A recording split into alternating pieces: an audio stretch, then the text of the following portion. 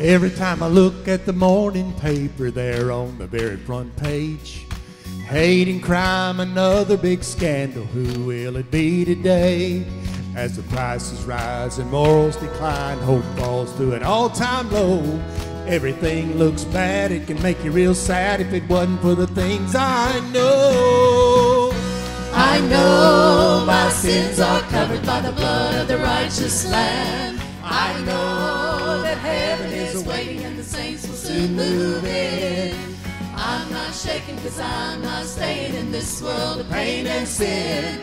I know by the signs that are given, I know by what I've been reading, I know by every indication Jesus is coming again. When the evening news, it's now available 24 hours a day. It can't be told in 30 short minutes, it's a never ending unsolved case. There's another big scene that's waiting in the wings, and the headline will unfold. While the world is bright, and I'm so enlightened by the things in the book I know. I know my sins are covered by the blood of the righteous Lamb. And I know that heaven is waiting and the saints will soon move in. I'm not shaking cause I'm not staying in this world of pain and sin. I know by the signs that are given, I know by what I've been reading, I know by every indication Jesus is coming again. I know. I know my sins are covered by the blood of the righteous Lamb. I know. I know that heaven is waiting and the saints will soon move in. I'm not shaking cause I'm not staying in this world of pain and sin. I know by the signs that are given, I know by what I've been reading, I know by every indication Jesus is coming again. I know. I know my sins are covered by the blood of the righteous Lamb. And I know. I know that heaven is waiting and the saints will soon move in. I'm not shaking cause I'm not staying in this world of pain and sin. I know by the signs that are given, I know by what I've been reading, I know by every indication Jesus is coming again.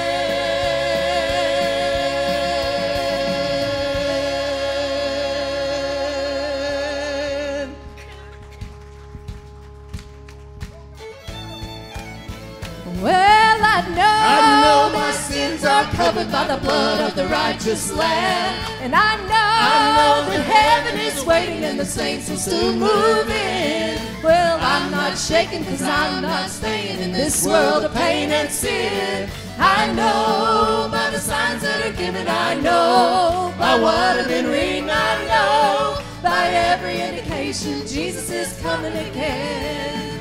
I'm not shaking cause I'm not staying in this world of pain and sin. I know by the signs that are given, I know by what I've been reading, I know by every indication Jesus is coming again.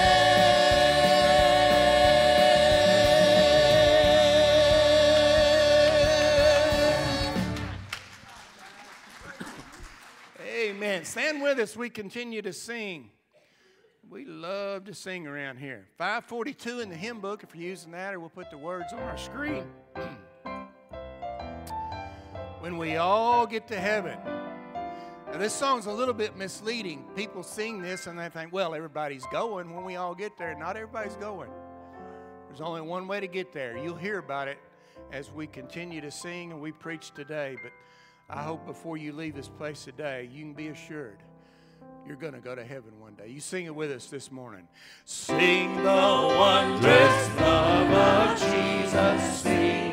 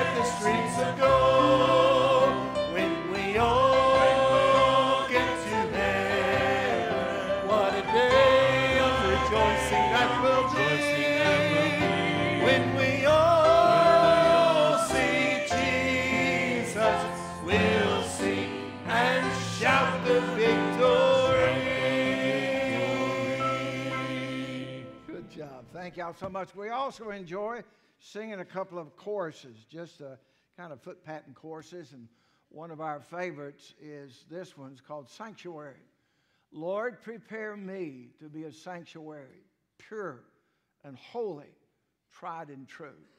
And uh, every born again believer, this ought to be a testimony of, uh, of their faith. We'll, we'll sing it through a, a time or two and let you get a hold of. Here, here we go.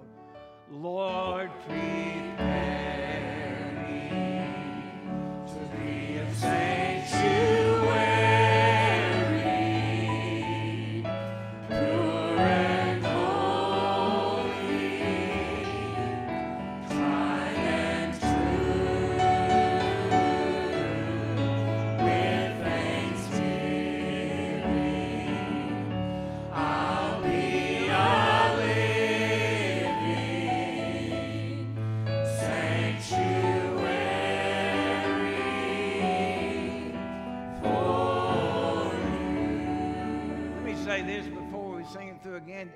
a testimony of every born again believer to be a sanctuary, a dwelling place, a testimony of the grace and the love and the mercy and the compassion and the forgiveness of God. We try to be that in front of other people.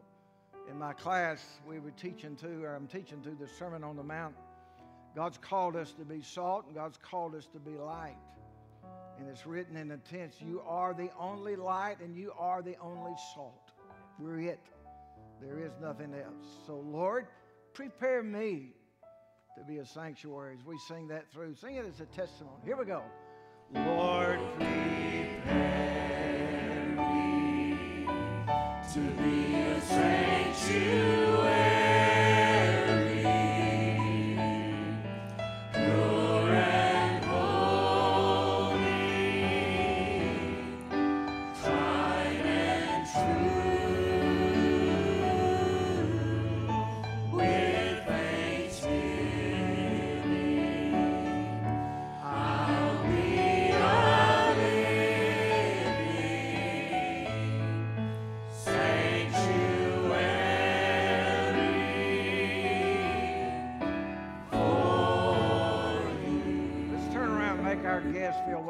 Shake hands with them.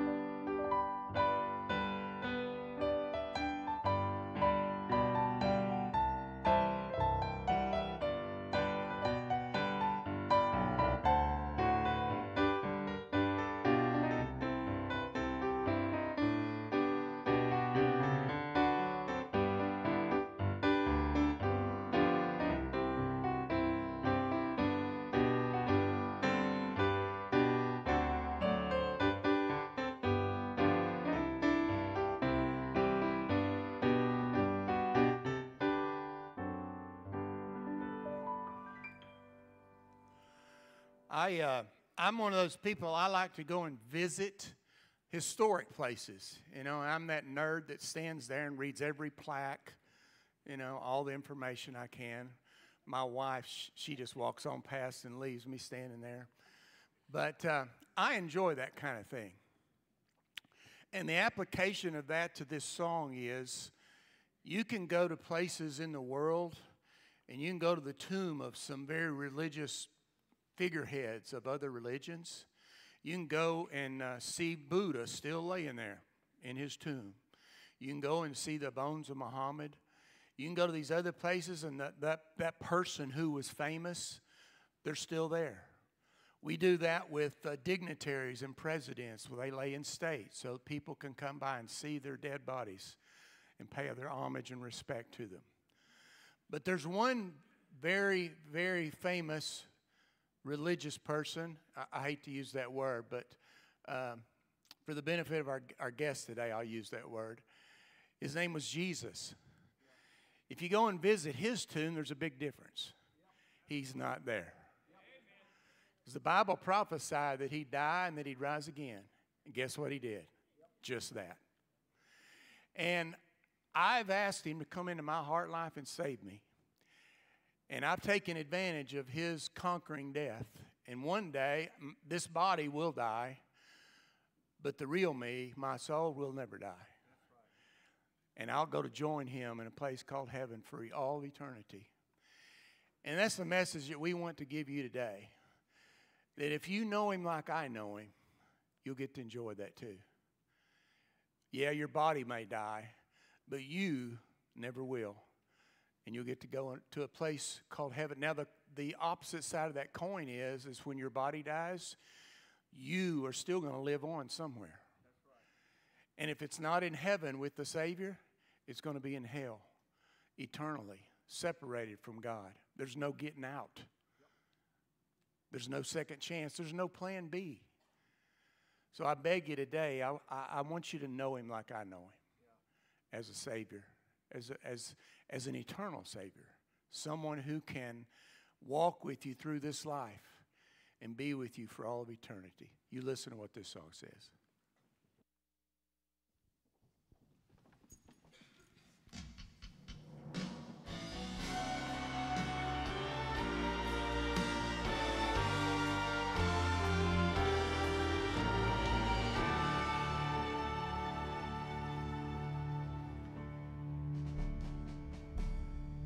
I walked by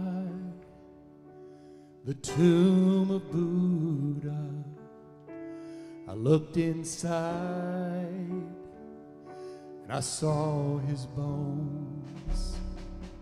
Then I traveled on to see Muhammad. He was still wrapped up in his grave clothes. Then I journeyed to a garden where old Joseph left him lay. The precious lamb, God's own begotten. Guess what? he was no longer in the grave.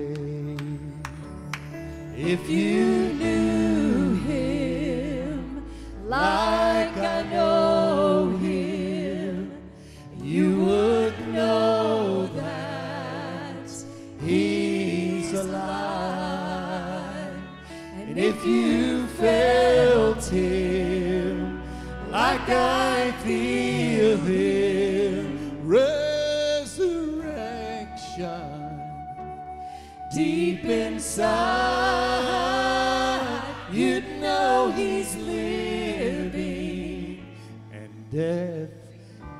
now if you're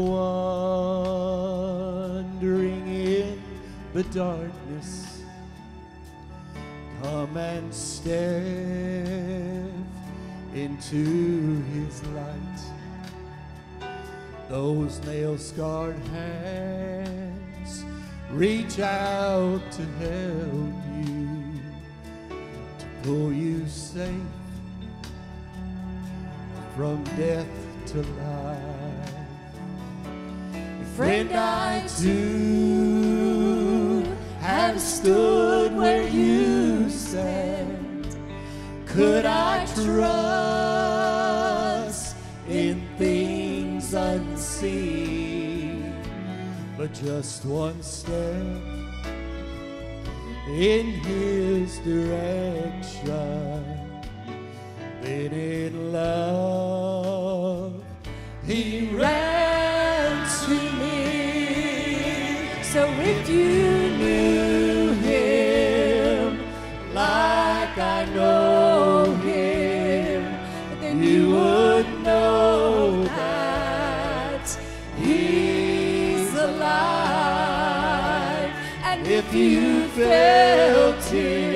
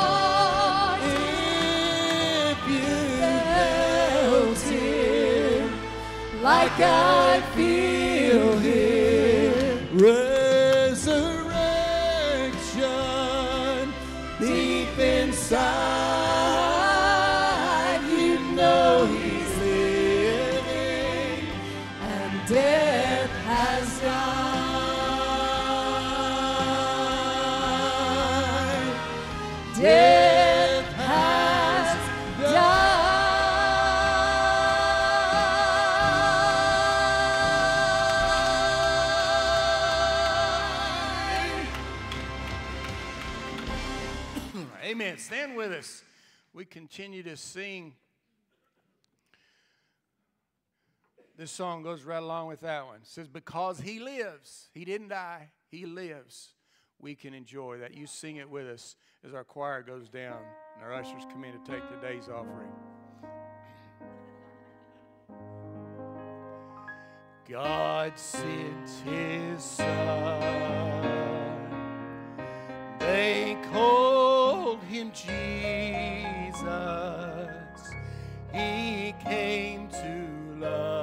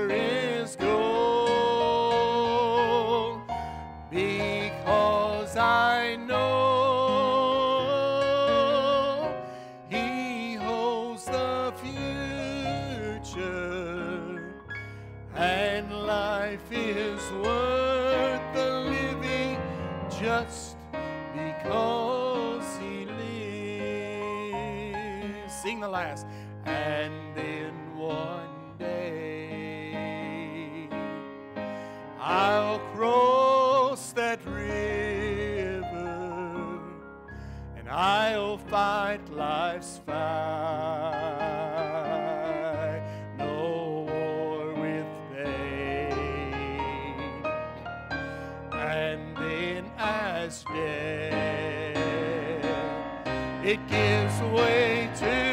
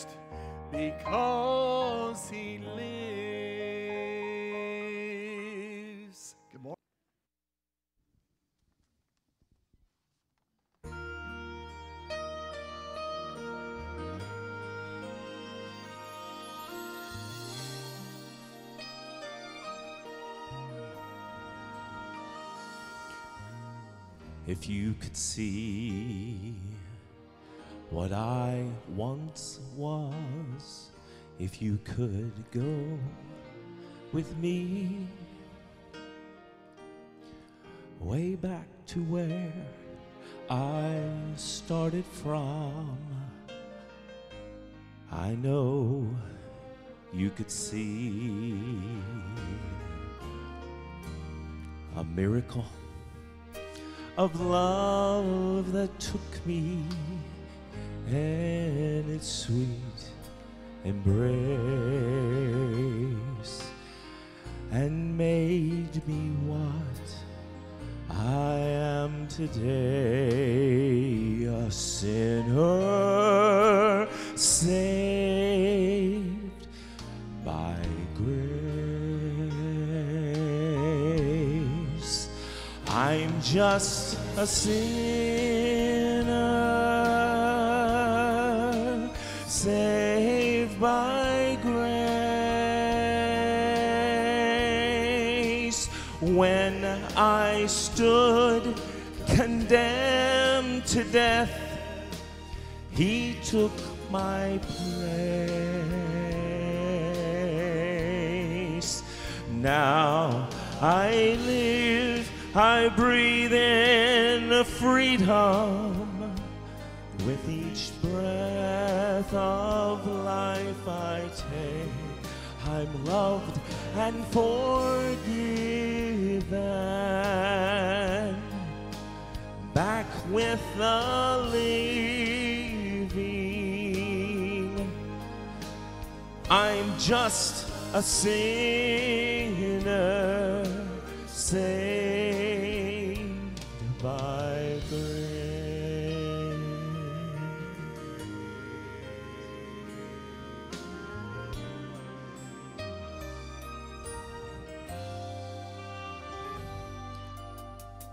How could I boast of anything I've ever seen or done?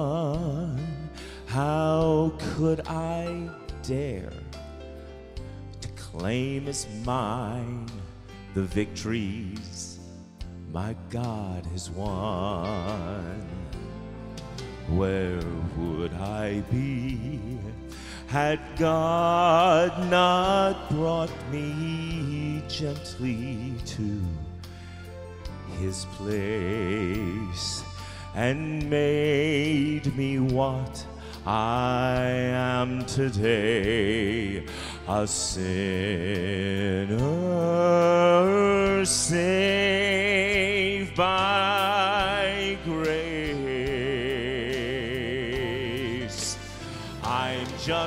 a sinner saved by grace. When I stood condemned to death, he took my place. Now I grow, I breathe in Each breath of life I take, I'm loved and forgiven. I'm back with the living. I'm just a sinner.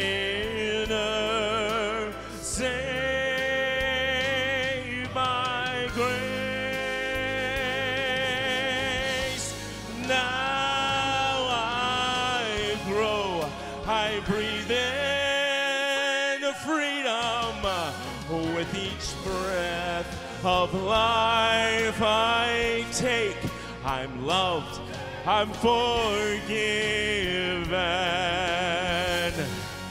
I'm back with the living. I said I'm just a sinner.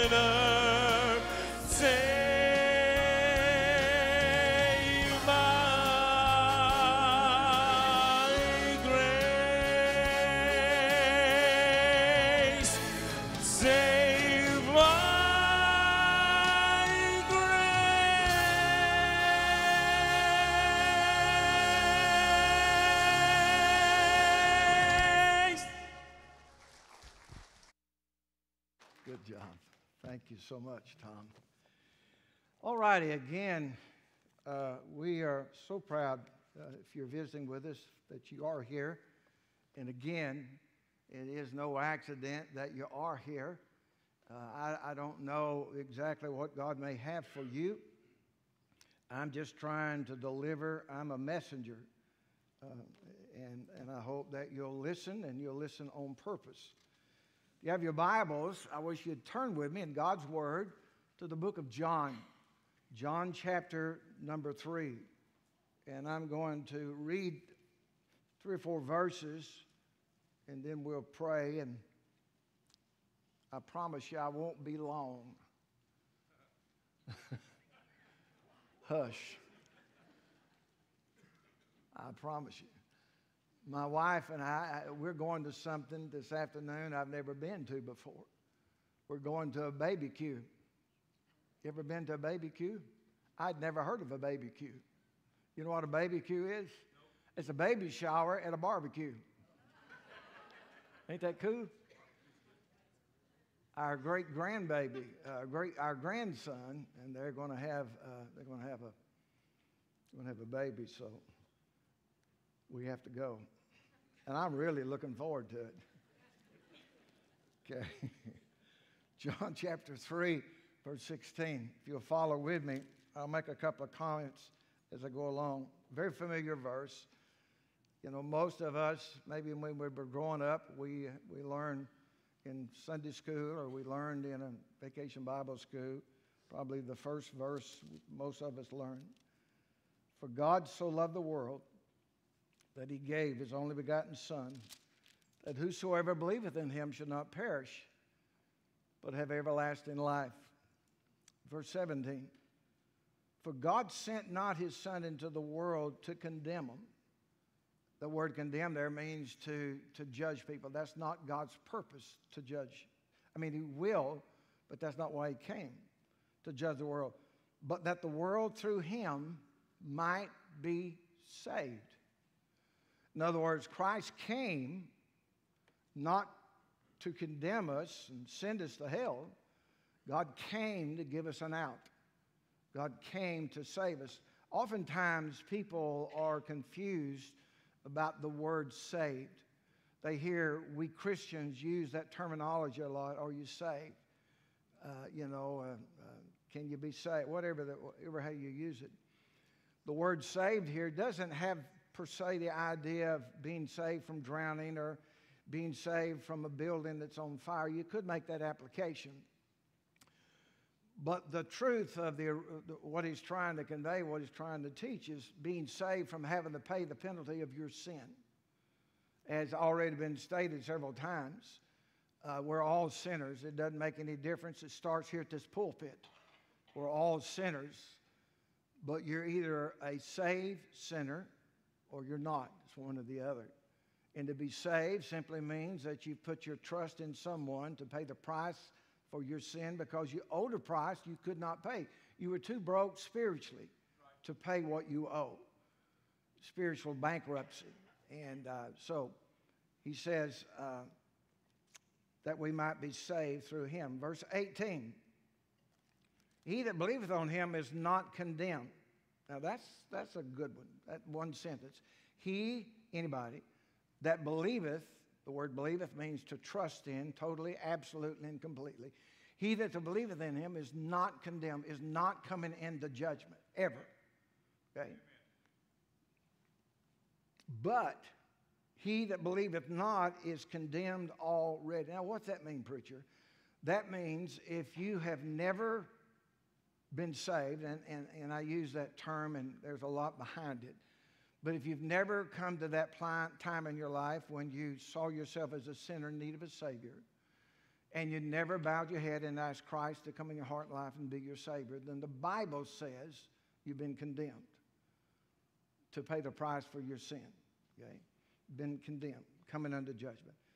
But he that believeth not is condemned already. In other words, already means this you're one heartbeat from eternity. We, you know, we have no idea, only God knows, the length of our lives. We have no idea how long, you know, we're going to live. Uh, you may make it through the day. You may make it through the, the decade. You know, decades. Who knows? But we don't know. That's the thing. Okay? We're just one heartbeat from, from eternity. Because he hath not believed in the name of the only begotten Son, he's condemned because of that. Verse 19 and on through. And this is the condemnation that light is coming to the world, and men love darkness rather than light because their deeds were evil. Now that's pretty simple. Christ came into the world as light to the world. The world is a world of darkness. He came in as light to show people the way of salvation. Okay? And uh, but people love their darkness. What's that mean? They love their sin more than they love they would love Christ or put in their faith and trust in Christ. Now, oftentimes people will have this mindset of sin as something godless and something wicked and something ungodly and, and vile and all that kind of stuff. What he's talking about here, there's sin, is this, there's only one sin that sends anybody to hell. Only one. It's not the sin of adultery, it's not the sin of homosexuality, it's not the sin of that. That's the fruit of sin.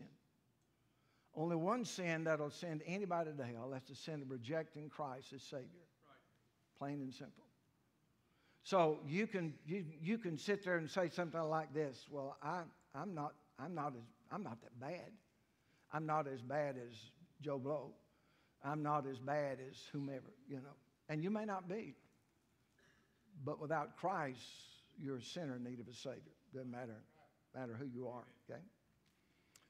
So, and this is a condemnation that light is coming to the world, and men love darkness, their darkness, rather than light, because their deeds were evil. Father, for these few minutes that we'll take, it could be, I don't know, but it very well could be some of the most important minutes that some folk have. It doesn't matter to me whether they're a church member or whether they're first time guest. It's really immaterial. It's just Holy Spirit that you would have your liberty to speak to people's hearts, and they're going to have to choose one way or the other. And I just pray that uh, they would see the importance of putting faith in you. And I'll thank you for what you'll do. In Christ's name, amen and amen. First of all, uh, I, I hope that you'll forgive me for using a personal illustration to introduce this message, okay? I try not to do that, but sometimes I do. But being I don't know anything at all about your love life, and I really don't care anything about knowing anything about your love life, I've got to use my own life as an illustration. some of y'all sitting there, some of our church people have gotten so nervous right then. They said, Lord have mercy, what is he going to say? Okay. In just a few days, uh, 20 days as a matter of fact, today's the third, 20 days, my wife and I will have celebrated 56 years of marriage. That will be our anniversary. And, and, and truth is, from my perspective, uh, at the time that we got married, I thought 56 years ago, I really thought that I understood and knew what love was. in all honesty. I, I can remember well standing there next to her and just thinking I knew what love was. But you know, in all honesty, looking back at those 56 years, looking back at the first part of our marriage when we got married, married, I, I, I would venture to say that there was more lust than there was love. Now, you see, the word love is primarily a verb. And a verb in Scripture mean, is a meaning of, of, of an action word. In other words, love is demonstrated. If you want to show your love to someone, you can say it, and that's great. And I think you should. But love is, in all honesty, is something that you demonstrate to someone. Uh, through all these years that she and I have been married, all of the ups and downs and the valleys and the mountaintops and the trials and the victories and the challenges and the successes and all that, our love has prevailed by the grace of God and by the grace of God only. I promise you. I didn't have a thing in the world to do with it. She had, you're going to have to shut up wherever you're sitting. Somebody come over and sit next to him, and no, I'm, I'm teasing. But, the truth is, I, I really feel like I, I have a better understanding of what real love is because of our demonstration of love through the years. Now, listen to me carefully. You don't have to have been married 56 years in order to demonstrate love. You could have been married 56 weeks, 56 months, or days, as far as that's concerned. What matters is the demonstration of love that you demonstrate to the one you say you love. The Bible says in, in the book of Romans, chapter 5, and verse 8, but God demonstrated his love toward us in that while we were yet sinners, Christ died for us. Okay? The word, the word in the King James is the word commendeth, but it literally means God demonstrated his love toward us. In that while we were yet, he didn't wait till he got good. He didn't wait till you stopped something. He didn't wait till you sold out or whatever. He just said, I, I love you, period. And I think we all can agree that, that we live, you know, in our day and time, we're living in a very, very uh, confusing time. Uh, and what I mean by that is uh, uh the society in which we live. I mean, we've got a society nowadays that men think they're women and women think they're men, and We've even got a young person here in Walton County that thinks they're a cat. You know, it's just, we're living in some confusing times. But I think there's also a great deal of confusion when it comes to God, and it comes to the church, and it comes to religion per se in, in general, you know. And I can understand much of that confusion. Much of the confusion that goes on today in the world out there is the result of the people in here. We say one thing in here hallelujah, glory to God. We raise our big black Bible and all that kind of stuff. We walk out those doors and live like hell. The world gets confused because of the way we live. You say that you're a Christian, you say you're going to go to heaven. Yeah. Uh, I, I taught Sunday school, or my daddy was a deacon or whatever. You know, I, I'm, I'm good. But there's never, ever demonstrated the love of God in your life. People wouldn't know that you're a Christian. People wouldn't know that at all. Your children wouldn't know that you're a Christian. We're more concerned about impressing our kids and grandkids and, and, and those that, that, that are close to us with stuff than with Him. And when you die, you're going to leave it all. I've preached funerals of paupers and I've preached funerals with multimillionaires. And there's one thing in common they left it all. So it's important that you and I live up to who we say that we are. What I want you to do for just these few minutes that we're going to take, I want you to, to lay aside any and all preconceived ideas that you may have about God, about the Bible, about the church, about other Christians, about anything along that line.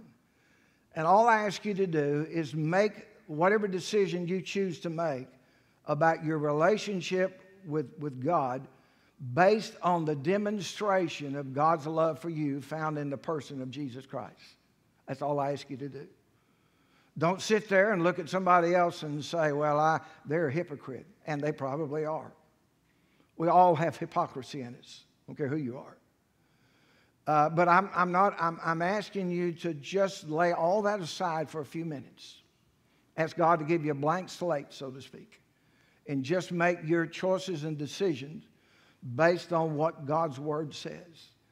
Now, you know, I could go through the scripture and I could go back in Genesis and try to work my way all the way through, you know, the prophets and all that kind of stuff and the Psalms and give you the gospel. I, you know, that's possible. But uh, all I want to do this morning is take one verse, John 3:16, and just take it apart. Show you just five or six things about that one verse. And in that one verse, you can make a choice and decision about what you want to do as far as your life's concerned. You know, uh, so let's let's see if we can take it apart, and I hope you'll. And most of you can follow along with me, even though you you know you don't maybe you don't have your Bible. For God so loved the world that He gave His only begotten Son, that whosoever believeth in Him shall not perish but have everlasting life. The first thing I want you to see is the object of God's love. For God so loved the world. You know, it's really ironic, and most folk don't know this, but Christ's public ministry, he never got out of Palestine, out of that area over there in Palestine and Israel and such as that. But his love was not limited to just Palestine. His love was demonstrated universally. His love is still being demonstrated without distinction. His love is without exception. His love is known everywhere. A lot of people call him a great man, they call him a great prophet. I call him God, call him a Savior. His love is without, you know, Christianity is the only religion in our day and time that does not ask works for a person to get saved or like the Muslims to kill somebody else in order to have 70 virgins in heaven. We just love people to Jesus as best we can. But the problem is, we who call ourselves Christians are so wrapped up in us and what we want, we forget about all those and the needs in other people's lives. So, the object of God's love, not my love, not somebody else's love, but the object of God's love, God so loved the world. And one of the, another thing about that is, do you know that you can't be so bad that God won't save you? And you can't be so good that you don't need to get saved. But you can't be so bad because some of y'all are boogers. I mean, genuine, bona fide boogers. We all are. But God will save the biggest booger. That's probably not the best terminology. I need to try to stay sophisticated as best I can. My wife looked at me after, you know, after church, we go, home. she says, You did some of the stupidest things. she says it in love, but, but she, she says it nonetheless, okay? So the object of God's love is the world. Second thing is the gift. The gift says his only begotten son. Now, personally, I, I believe this is where people struggle the most. You say, why would people struggle with, with a gift? Pride gets in the way. What I mean by that is simply this if I can be saved and go to heaven, then what do I need to do? You don't need to do anything other than put your faith in Christ. No, no, no, no, wait a minute, preacher. I'm not accustomed to getting anything without working for it. I've worked hard, you know, uh, all my life, and, and I enjoy the fruits of my labor. So if I'm going to get something that is as valuable as eternal life, then do I need to go to church? Do I need to get baptized? Do I, do I need to work hard? Do I need to serve as an usher? Do I need to get money? What do I need to do? You need to see yourself as a sinner in need of a Savior. Put your faith and trust in Christ, period. The Bible says, For by grace are you saved through faith, and that not of yourself. There's nothing that you can do to save yourself. God's done it all. And it's imperative that we understand that. You know, how many people will miss heaven because they thought they had to do something? The Bible says in Romans chapter 6 and verse 23 For the wages of sin is death, but the gift of God is eternal life through Jesus Christ our Lord. Here's the issue. Here's where people struggle is receiving the gift. Let's say, for instance, I offered a gift. I walked around here and I offered a gift. There are, there are a number of people that would accept it without hesitation. I have no doubt about that, okay? And that's good. But if I offered a gift, there are others that would reach in their pocket and they would want to pull out a $5 bill or whatever they had in their pocket. Preacher, I appreciate it, but here. But if you paid anything whatsoever for it, it ceases being a gift. You have to either accept it, nope, I reject it. You say, but I'm trying hard and I mean well, and, and, and I, I can remember getting baptized. Well, I got baptized when I was little. If I died, I'd busted hell wide open because I'd never come to the place where I saw myself as a sinner in need of a Savior. You say, well, how do you know that took place? Because God changed me. You don't come in contact with God and stay the same. You, you, you just don't. How do you know? Because the Bible says that.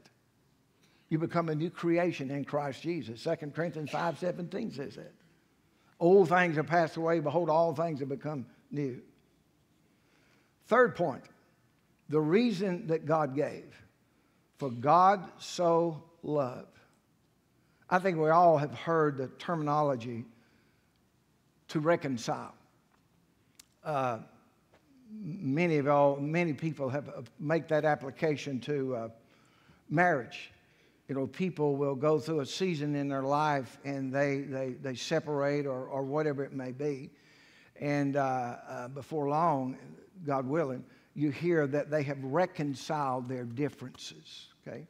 They, they, they've come back together. That's what the word reconcile means. And it's because of our sin that we need to be reconciled to God. I'll read a verse there. You don't have to turn there, but it's found in 2 Corinthians chapter 5 and verse 21. Probably one of the greatest verses in all of Scripture. For he, meaning God, hath made him, talking about Christ, to be sin for us, sin for you, sin for me. Why? Who, Christ, who knew no sin, that we might be made the righteousness of God in him. What took place? There's a, there's a doctrine that, that, that's taught in Scripture that's not mentioned a great deal. It's the doctrine of imputation, to impute. It's a banking term, and it means to apply to one's account. The moment that I bowed my head, and a person, anybody that bowed their head and serious about God, the moment that we bow our head and put our faith and trust in Christ, all of the righteousness of Jesus Christ was applied to my spiritual account. All of my sins that I had ever committed, would ever commit, uh, past, present, or future, were placed on Jesus Christ. We had a swap. We went from here to here, from here to here. I stand before God Almighty in the righteousness of His Son, Jesus Christ, not in my righteousness. Because the Bible says, My righteousness are like filthy rags. The best I can do and the best you can do is like a filthy rag. And I had a swap. You say, you can sit there and say, Well, I'll tell you what, I'll take care of it. I'll face it when I face it. yes, you will. And I'll tell you what, I've been able to buy myself out of this all these years, or I've been, been able to fight myself out of it. Yeah, well, good luck on that. It's not going to happen. Fourth thing is the offer that whosoever, rich, poor, black, white, gay, straight, doesn't make any difference. For whosoever, anybody can be saved that God calls. For whosoever shall call upon the name of the Lord shall be saved. Whosoever. Me, you, anybody. Fifth thing, there's the condition. For whosoever believeth in him. The key here is the word believeth. It means to place your faith in, your trust in, totally and completely. You know, it is phenomenal and amazing that we go to a doctor to cure us. We go to a pharmacist to fill up a prescription. We trust the doctor, we trust the pharmacist. You even demonstrated faith in here this morning. Every single one of you are demonstrating faith. You sit in that chair, trusting that chair is going to hold you up. You put your faith in it. We trust all that, but we won't trust Christ. We read the Bible, yeah, I don't know, that's kind of an old book, but I'll trust the doctor. There was i can't remember i wish i could remember who it was that was i was talking to this morning or sometime this week maybe this morning. And they said this friend of ours went to the doctor and the doctor says you have bad indigestions what you you got bad indigestion. Found come to find out she had pancreatic cancer bad diagnosis you don't want to wait till that takes place because if you wait till the judgment there is, as Terry said earlier, there is no plan B, period. It's either now or never.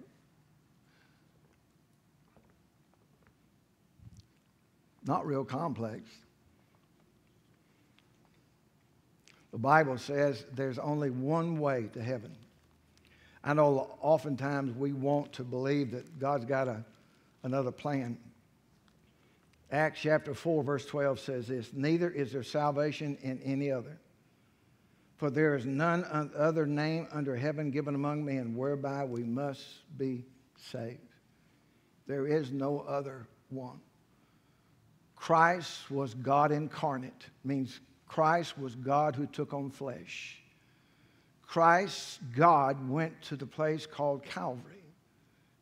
And he showed how much he loved you by stretching out his arms, and he died on the cross. But your rejection of him, when you turn your back on him and say, I got no use for you, I'm more interested in doing my thing. I'm more interested in what this world's got to offer, all the toys, all the fun, and I'll worry about that when I get there. I'm doing all I can to tell you you don't have to. You don't. We're to trust in a person. We're not to trust in anything else other than the person of Christ.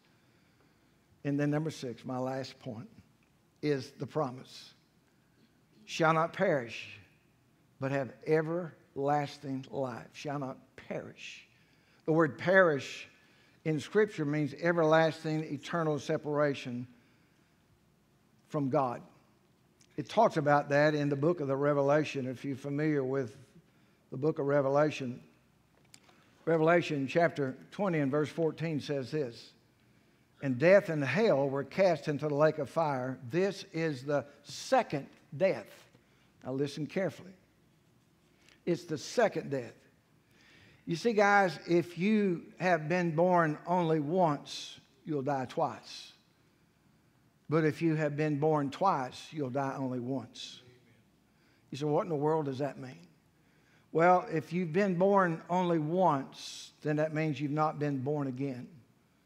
If you go back to the early part of John chapter 3, twice Jesus made mention, he said to this religious leader, he said, Nicodemus, you must be born again. You must be born again. Now, pretty well, if Christ said it twice, it ought to get our ear. You must be born again. And if you've been born twice, you'll only die once, meaning you'll only die physically one time. But to die, be born only one time, you'll die twice. You'll die not only physically, but you'll die spiritually. And that's exactly what he's talking about in, in Revelation chapter 20 and verse 14. And death and hell were cast into the lake of fire. You see, hell is not the final abode for people that turn their back on God and reject Christ and the grace of God. There is a place that's worse than that. It's called the lake of fire. He says in John chapter 3, he talks about everlasting life. And, and I, I don't know what your take may be on everlasting. I just know in the book of John that Jesus promises each of us everlasting life. John chapter 3, this is what he says in verse 18.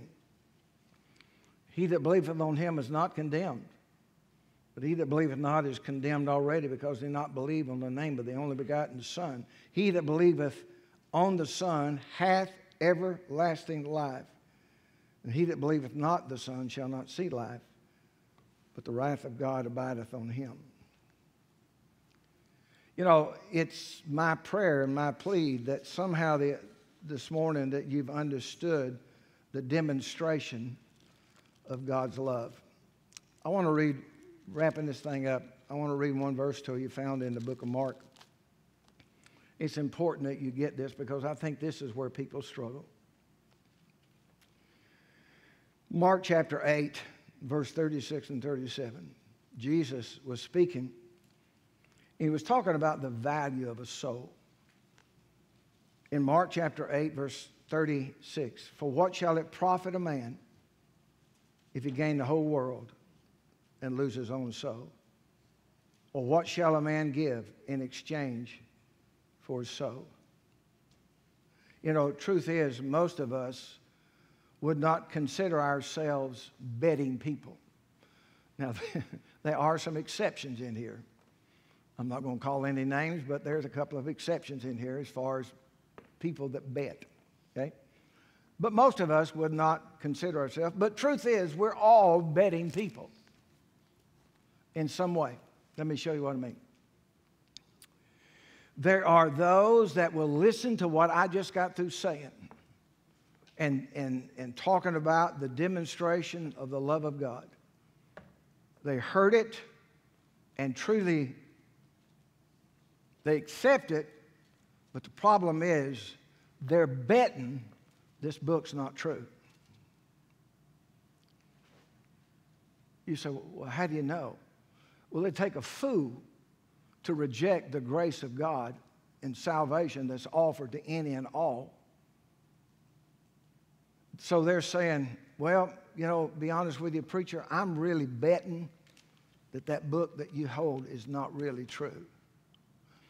But if it is, then I guess I'll have to answer someday because of the choice that I'm making in life now. And you, you, you're exactly right. You know, people say I'm willing to live like, you know, I, I bet that, that there is a heaven and a hell, and I'm going to make it somehow. But not unless you come God's way. There is no other way. The demonstration of God's love, the object of his love is the world. That's me and you. The gift of his only begotten Son. He became sin for us. The reason that he gave is because he so loved. That's how he demonstrated his love. The offer is to whosoever. Your choice will impact. Here's, you know, if I could drive anything home this morning, it would be this. The choice that you make in your relationship with God impacts more than just you.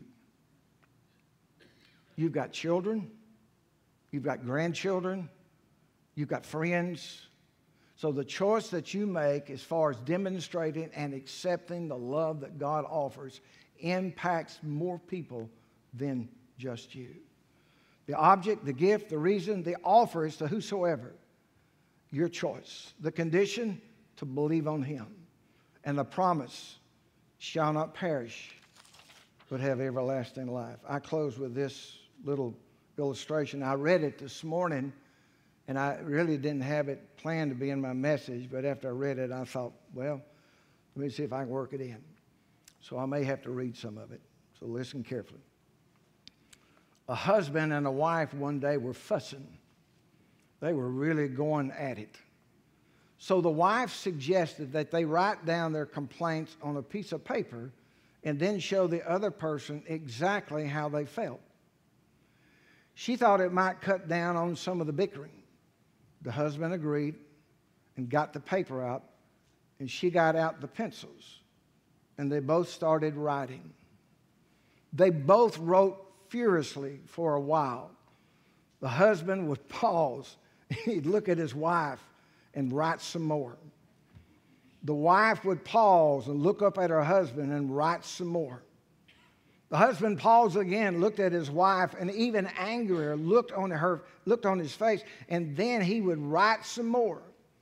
The wife did the same and then put her pencil down. Her husband was still writing. He looked up in a fury and continued writing.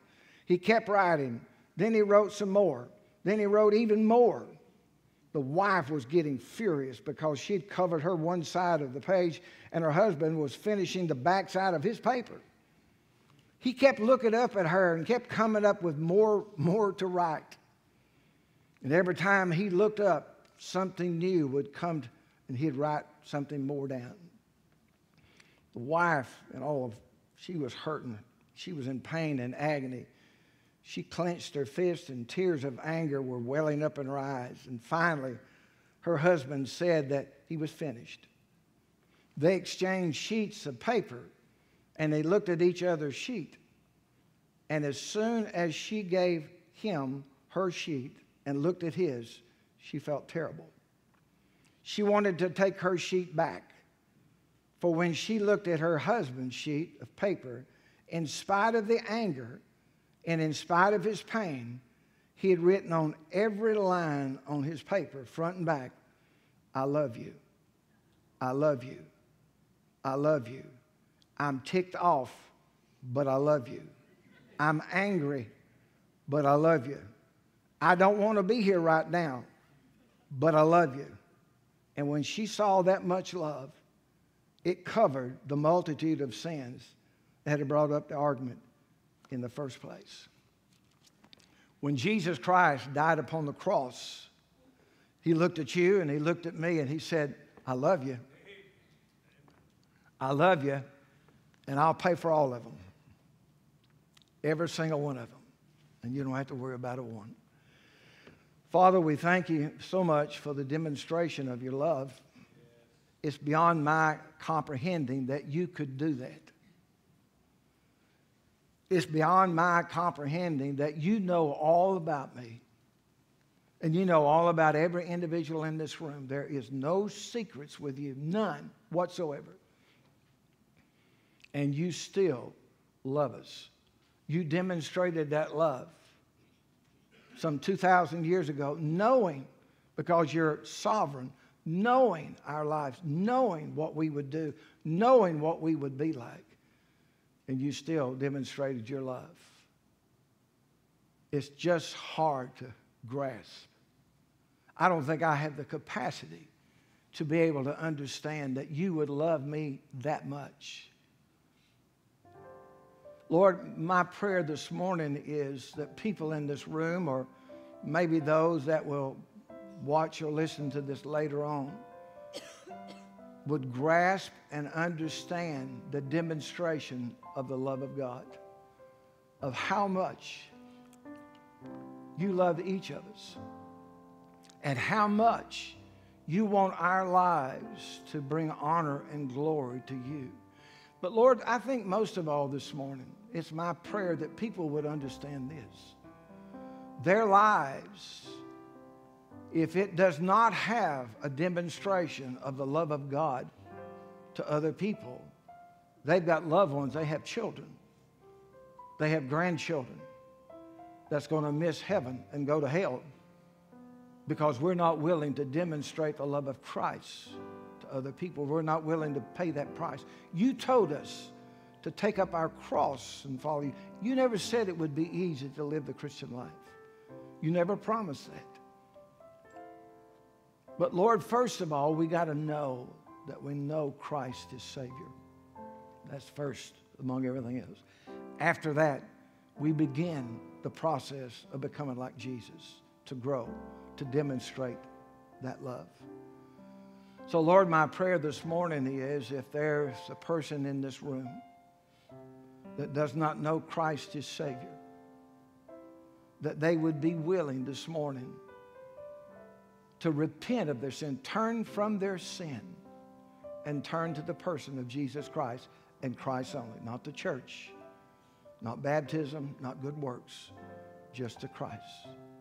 How? By saying something like this Jesus, I know this morning, I realize how much you love me. I'm so sorry for my sin. Forgive me. Come in my heart and life and be my Savior today. I'm trusting you and you only to save me. Help me to be like Jesus. Help me to impact those that I love so much. Because all this stuff doesn't matter. Lord, there may be some here this morning that just need to come up here at this altar and say, Lord, I'm so sorry. I know I'm saved, but I haven't been demonstrating that love to others. There may be some need church home. If that's true, we invite them. God, whatever the need may be today, we pray your will be done. We'll thank in Christ's name. Amen.